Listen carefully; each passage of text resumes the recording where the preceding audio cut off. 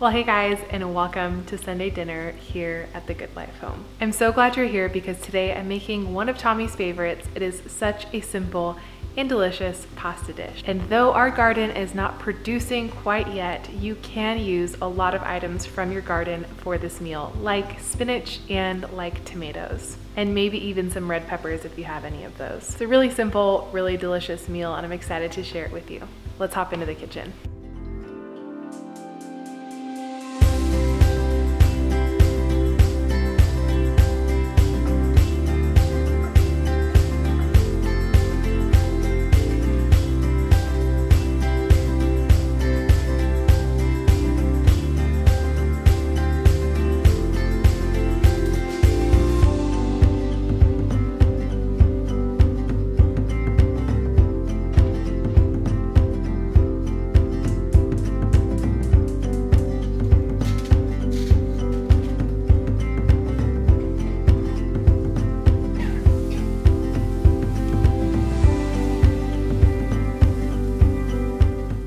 So the onions and garlic are caramelizing, the water is boiling, and I have to show you guys who I have with me in the kitchen today. Uh, today I have a very special sous chef with me today. I cannot wait to introduce you guys.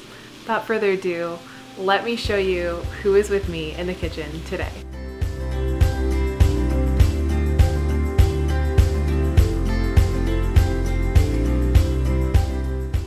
Is she not so precious? Calling her a she because compared to other monarchs that I've raised in the past, this one does seem smaller for where she's at.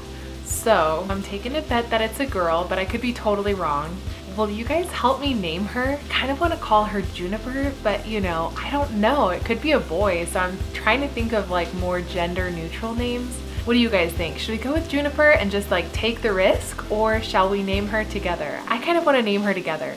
If you guys have a good, um, I guess, gender neutral name for it, her, it, leave it in the comments down below. Let me know what you guys think we should name her, it, her,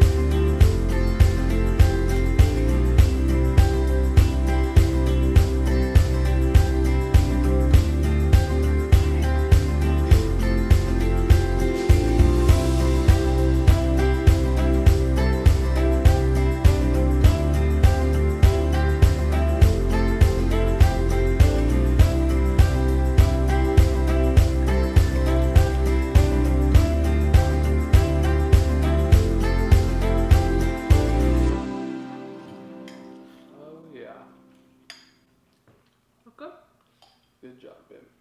Thank you. So something really neat has started to happen here. Monarchs have decided to make our yard their home.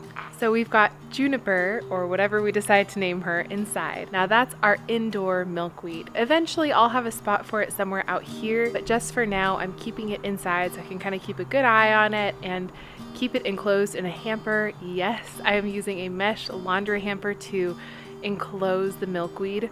Um, and hopefully she'll develop he or she, it will develop a chrysalis on the top of the inside of the hamper. And when that happens, I'll be sure to show you guys. Uh, in the meantime, I did just want to show you what you can be looking for if you want to start hatching your own monarchs. It's really simple. You really just need milkweed, and what you want to look for is obviously if any of the leaves have been chewed down, but a really easy way to spot baby monarchs is looking for eggs.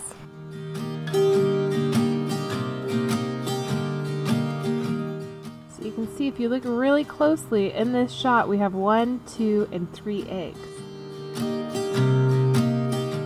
So So yeah, once you see those eggs popping up on your milkweed, you know that you've advertised well to the local monarchs and that they are using your plants as their ecosystem and their breeding ground for more monarchs. Wow, the sun just set. I don't know if you can see, but like just the glow from the clouds on my face, it's like a quintessential California sunset. That cotton candy sky has just set in.